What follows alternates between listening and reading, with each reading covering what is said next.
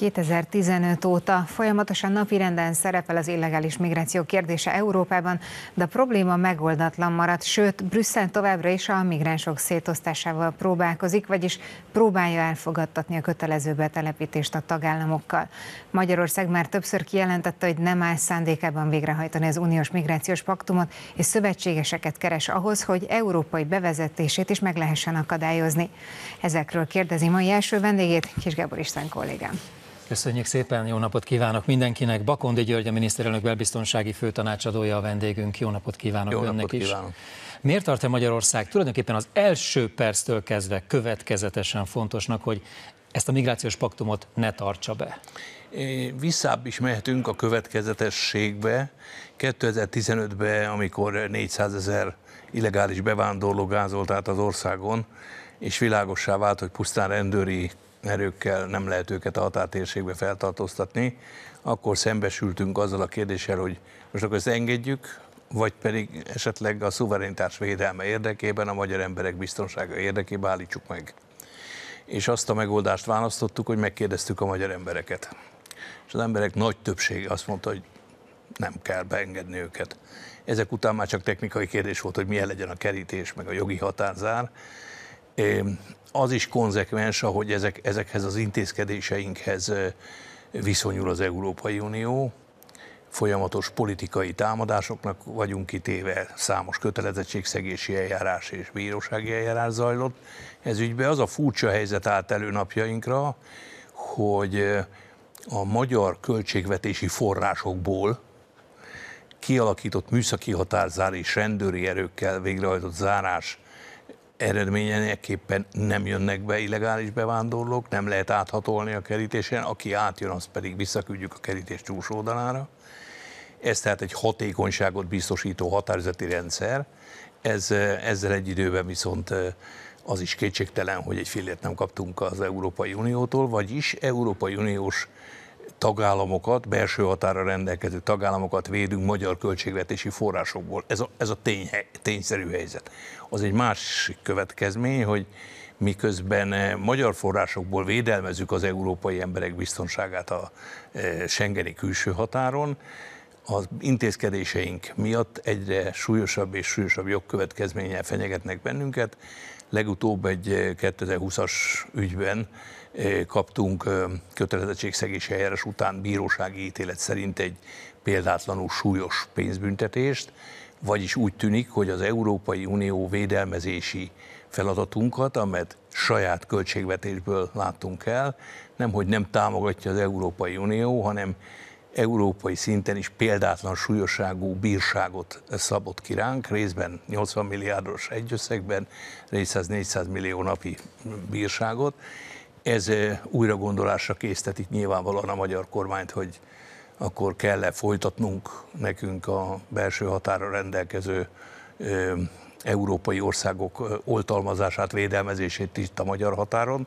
Tehát olyan megoldást keresünk, amelyik a magyar emberek biztonságát nem sérti, az föntartja ezt a szintet, ugyanakkor nem biztos, hogy támogatjuk ezek után a példátlanul súlyos és igaztalan, ráadásul saját eljárási szabályaikat is semmibe vevő és úgy kiszabott bírságot, ami, amivel megtámadták most megint Magyarországot.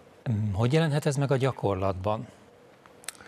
Ezt nem szeretném itt most előzetesen fölfedni, de nyilvánvalóan olyan megoldást keresünk, amelyik amelyik nem sérti a magyar embereknek a biztonságát, ugyanakkor azoknak fáj jobban, akik ezt a bírság kiszabása mellett döntöttek. Most utaltam rá, hogy furcsa helyzet van, de valóban ugye az Európai Bizottság azt tett egy indítványt a bíróságnak, hogy hát egy szeridebb összegbe egy bírságot szabjon ki ránk, ennek a sokszorosát szabta ki a bíróság.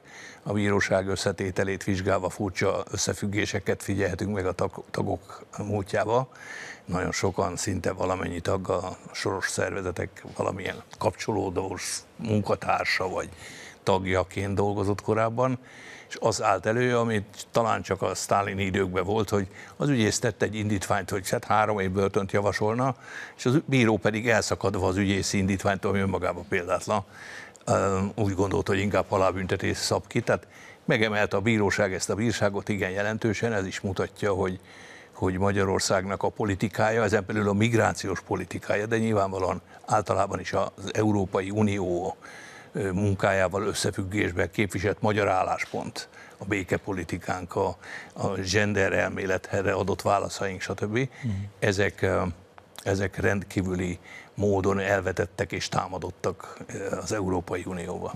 Kik lehetnek a szövetségeseink abban a kérdésben, hogy ez a migrációs paktum legalább részben ne úgy lépjen hatályba, mint amilyen állapotban most van? Ugye most átmentünk a paktumra, eddig a bírságról Igen. beszéltünk, de nyilvánvaló, hogy a paktum az, amelyik most két éven alatt majd hatályba fog lépni, és számos ország van az Európai Unióban, akik most, amikor a végrehajtási szabályokat kellene megalkotni, akkor szembesülnek azzal, hogy hát tulajdonképpen hát mit, mit is írtak alá, mit is szavaztak meg. E, több e, észrevétel is most már az, állam, az államoktól, az egyes tagállamoktól érkezik az Unióba. Nagyon bízunk abban, hogy azok az anomáliák, amelyek szemmel láthatók első olvasatra is láthatóak voltak, amikor a végrehajtási szabályok szintjén majd ezzel szembesülnek, akkor itt a kötelező kvótákra gondolok mindenek előtt, és az eljárással kapcsolatos, az érkezőkkel kapcsolatos eljárási szabályokra, amelyik a migrációt az kezeli, nem pedig megakadályozza az illegális bevándorlást. Ez, ez olyan tarthatatlan és súlyos biztonsági következményekkel fenyegető helyzetet idéz elő minden országba, hova majd így beérkeznek nagy számba, amely talán csak azok az országok nem, ahonnan elhoznak illegális bevándorlókat, ez mindenképpen megoldás kell, és mennyire így van, a számos tagállam most a napjainkban is, mivel nem látja biztonságosnak az Európai Unió intézkedéseit, tagállami szinten, nemzeti szinten hoz döntéseket, visszaállítja a Schengeni belső határokon az ellenőrzést. Albániával megállapodás köt például az ország, hogy odaszállítja a tengerről érkezett illegális bevándorlókat, tehát számos két oldalú tárgyást folytatnak a Libanonnal, Líbiával, Tunéziával, Marokkóval, Egyiptommal, hogy megakadályozzák az útbaindulásokat az illegális bevándorlók részéről, igyekeznek valami fajta megállapodásra jutni a szervezet bűnözéshez tartozó embercsempész bandák felderítésében és felszámolásában. Egy szóval a nemzetállami lépések és ennek politikai következményei, ezek nem teljesen fedik le azt az elgondolást, amit sietve egy még az előző ciklushoz tartozó parlamenti szavazással törvényerőre emeltek. Bakondi György, köszönöm a beszélgetést. Én is köszönöm.